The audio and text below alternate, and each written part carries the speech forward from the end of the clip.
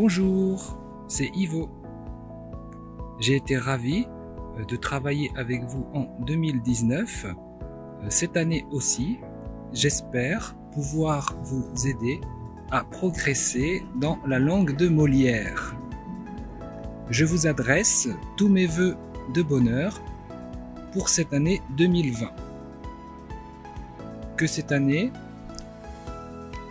vous apporte bonheur et succès dans tous vos projets.